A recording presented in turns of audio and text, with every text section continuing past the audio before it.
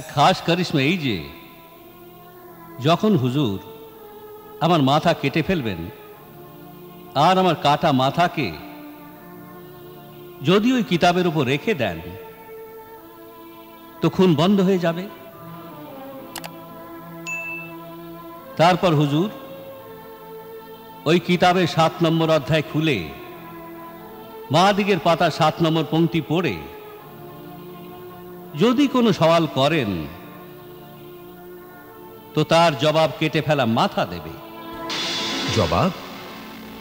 কাটা মাথা দেবে? কেটে ফেলা মাথা জবাব দেবে। জবাব কাটা মাথা দেবে? সত্যি আমার প্রশ্নের জবাব তোমার কাটা মাথা দেবে? জি হুজুর। আমার দয়াবান কাদার দান জমানের বাদশাহ এ সম্পূর্ণ সত্যি কথা।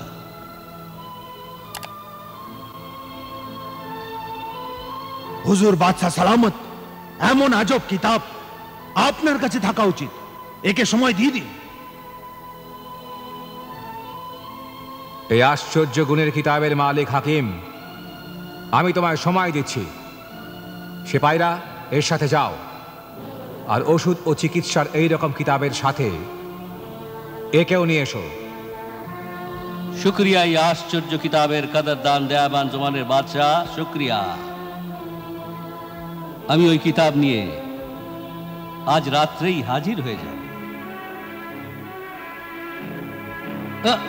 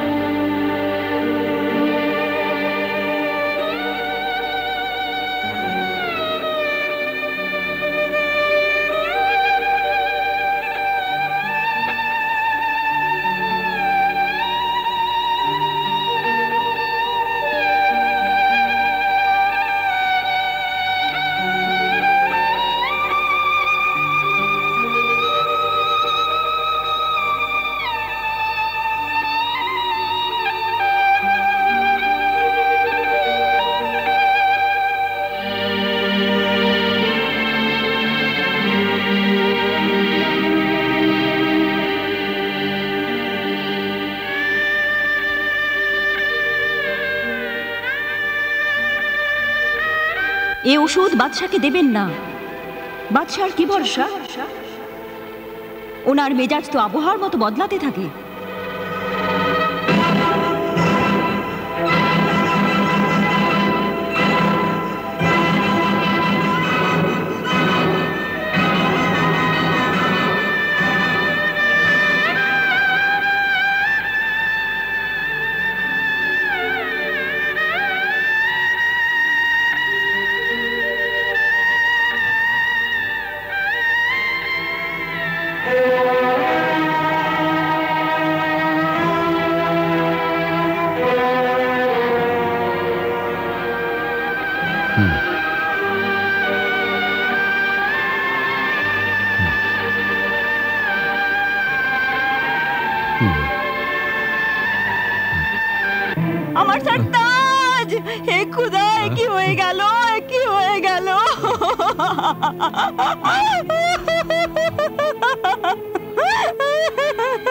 ছেড়ে দিন ছেড়ে দিন মরতে নিয়ে যাবেন না ছেড়ে দিন ছেড়ে দিন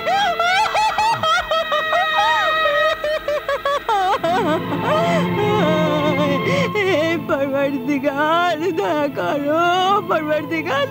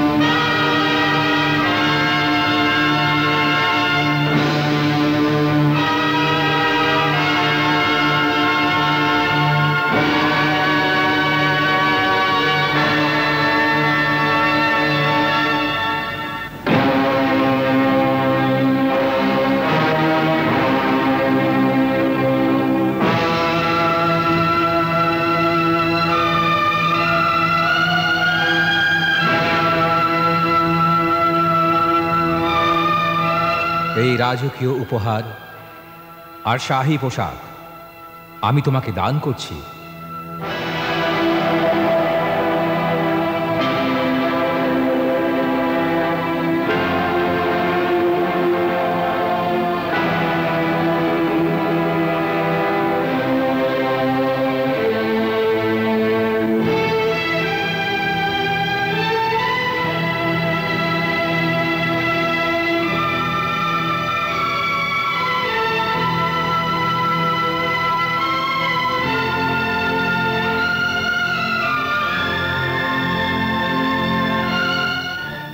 আমার কাটা মাথাকে যদি ওই কিতাবের উপর রেখে দেন তো খুন বন্ধ হয়ে যাবে।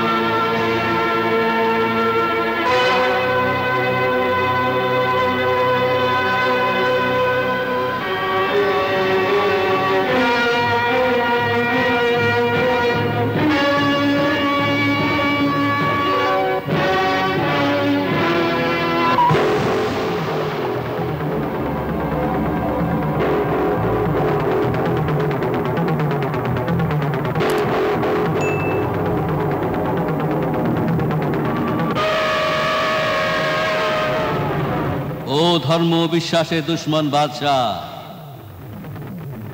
এখন কিতাব খোলো।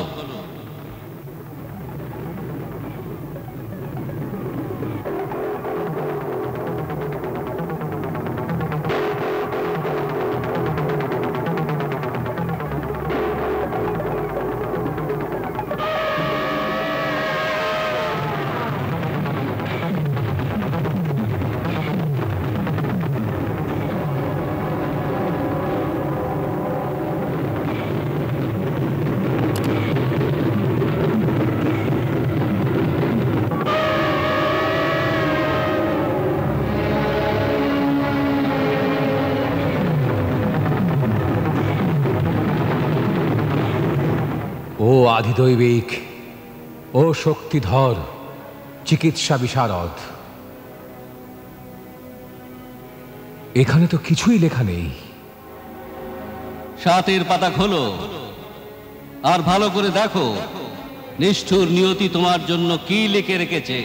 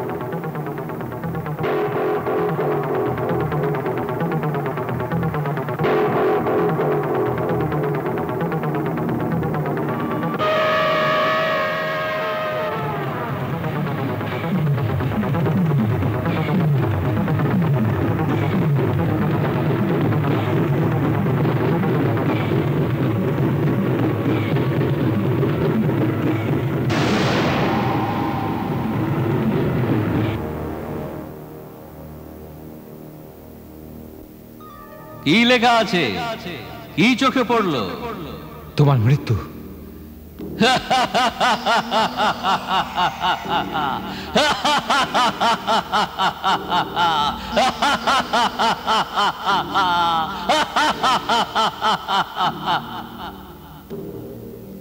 আমার মৃত্যু? হ্যাঁ তোমার মৃত্যু।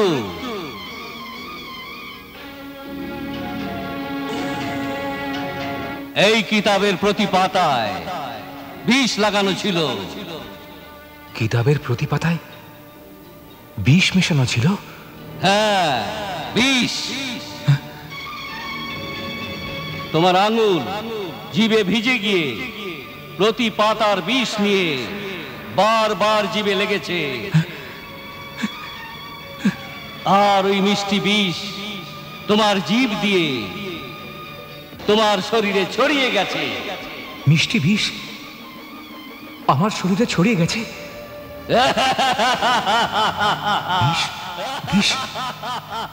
বিষ আমার জীবে মিশে গেছে?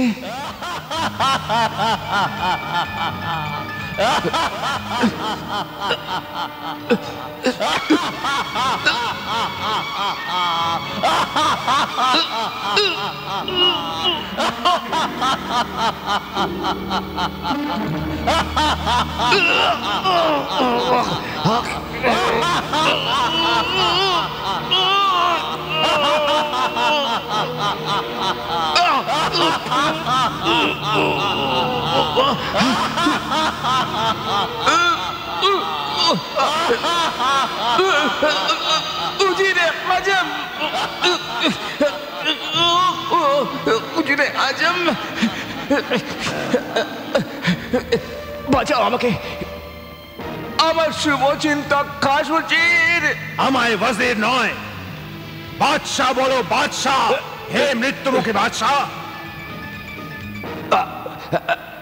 আমি তোকে কিছু বলতে চাই। আমি মরবার আগে তোমার শেষ ইচ্ছা নিশ্চয়ই পূরণ করব। বলো কি বলতে চাও? ও আমার উচিত বিশ্বাসঘাতক।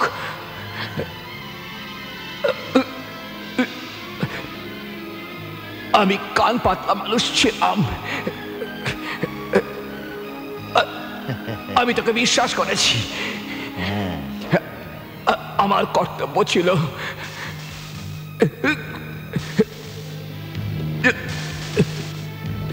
যে আমি হাকিম দোবানের সর্বতে স্বভাবের গুড় রহস্য তদন্ত করি। আর মালুমাত জানকারি হাসিল করি। কিন্তু তোর বহুরূপী মক্কারি আর ষড়যন্ত্র আমি বুঝতে পারিনি। তুই তুই আমায় দিয়ে নির্দোষ লোকের মাথা কাটিয়েছিস।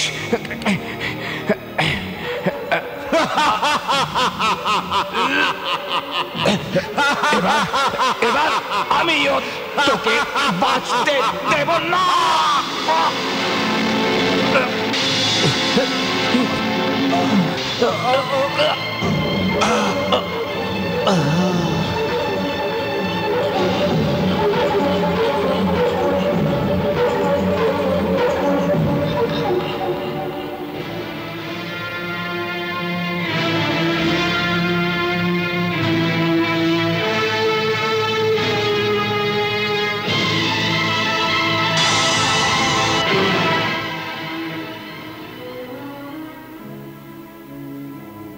মালিক শেরজাদ এই কাহিনী শুনে আজ আমি বড়ই উদাস হয়ে গেছি। কারণ হাকিম দোবানের দুঃখ ভরা কাহিনী যা আজ তুমি আমায় শোনালে, তা শোনার পর আমার এমন মনে হচ্ছে যেন সেসব আমার চোখের সামনেই ঘটেছিল আর আমি তার প্রত্যক্ষদর্শী। আমি দেখলাম যে হাকিম দোবানের জীবন্ত মাথা, শেষে নিষ্প্রাণ হয়ে গেল। আর ওর অতৃপ্ত আত্মা যেন ক্ষুধার অস্তিত্বের সঙ্গে মিলিয়ে গেল।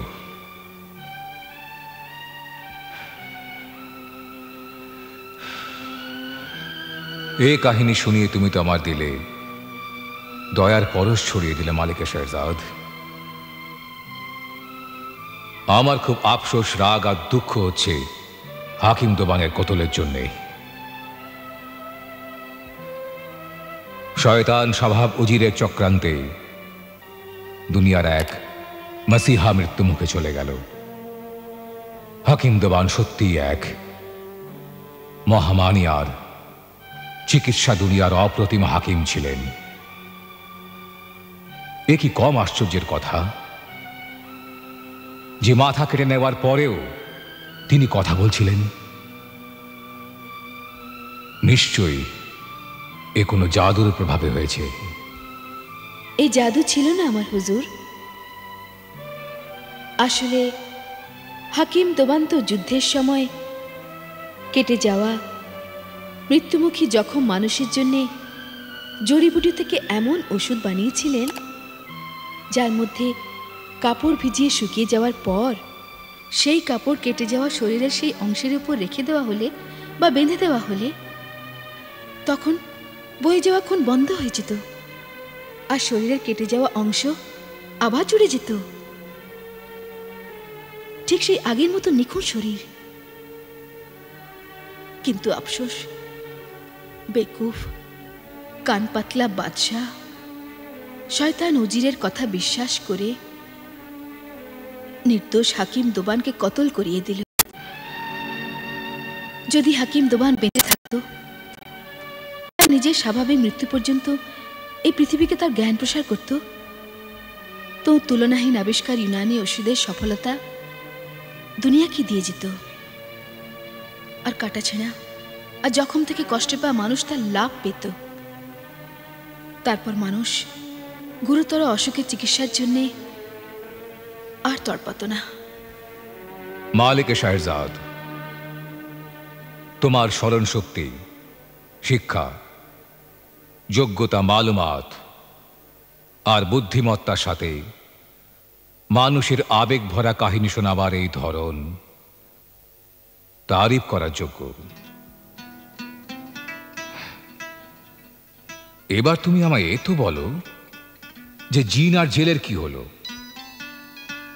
ওই বুদ্ধিমান জেলে হাকিম দোবানের গল্প শোনাবার পরে ওই জিনকে সুরাহির কয়েদ থেকে আজাদ করেছিল কিনা? জি না হুজুর। বরং জেলের আগে কয়েদ করা জিনকে বলল এই জালিম মক্কার জিন এই কাহিনী শুনলি তুই? যদি বাদশাহ হাকিমকে জিন্দা রাখতো তো নিজেও জিন্দা থাকতো। কিন্তু ওই বাদশাহ তোর মতো অকৃতজ্ঞ নির্বোধ ছিল। যদি তুই তখন আমার কাতর অনুরোধ মঞ্জুর করে নিতিস, তো আমিও হয়তো তোর উপর রেহেম করতাম। তাই আমি তোকে এই সুরাইর কয়েদ ঘরের সঙ্গে পানিতে ডুবিয়ে দেব। না না। এমন করিস না। যদি তুই আমায় ছেড়ে দিস, আমি তোকে এমন এক উপায় বলব। যার দ্বারা তোর খানদানের খিদে আর গরিবি চিরদিনের মতো শেষ হয়ে যাবে। ওরে ও ছোট্ট কয়েদ ঘরের বড় জিন। আচ্ছা তাহলে সত্যি বলছিস? হ্যাঁ। তবে কি আমায় গরিবী ক্ষুধা আর অভাব থেকে সত্যি মুক্তি দিতে পারবি? হ্যাঁ হ্যাঁ। আর আমায় রোজ এত খানা দেওয়াতে পারবি যে আমার বিবি আর বাচ্চাদের আমি খুব পেট ভরে খাওয়াতে পারব? একবার আমার কথা বিশ্বাস কর।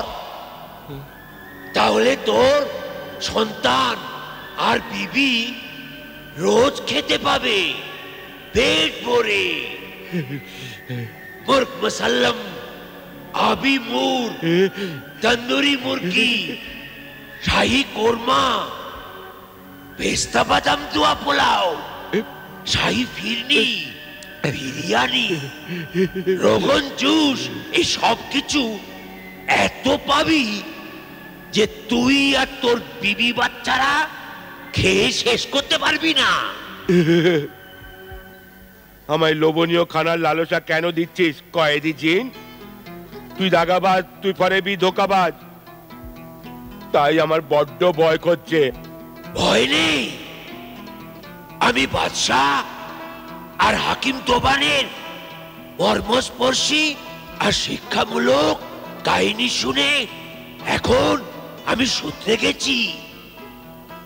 তুই আমায় বিশ্বাস কর, এখন আমি কসম খাচ্ছি।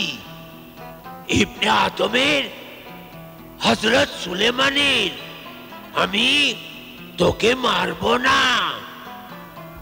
তোকে এমন রোজগারের পথ বলব, তুই যাতে বড় লোক হয়ে যাবে। ভরসা করছি তোর ওপর। আর নে তোকে আজাদ করে দিলাম।